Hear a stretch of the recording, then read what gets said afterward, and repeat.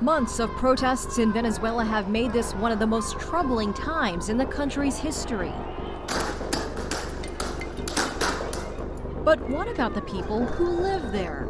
This is a very drastic and brutal situation that it's affecting everybody.